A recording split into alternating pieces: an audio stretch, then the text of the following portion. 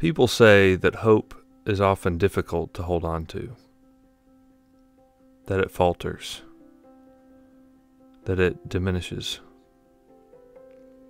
that it fades.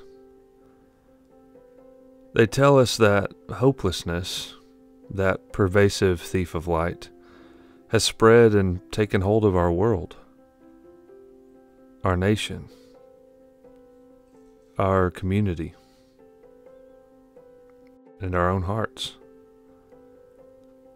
Yet hope, like light, takes many forms.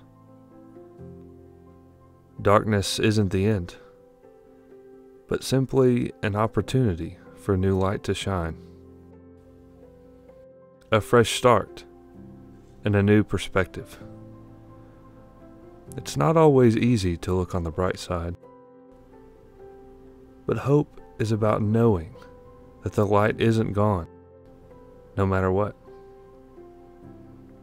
and that it's just taken a different form. As long as there is a kindness to be done a smile to share, a hand to hold, a listening ear, and an open heart. There is hope to be found.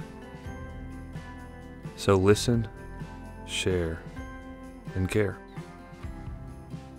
Know that hope can be wherever you are,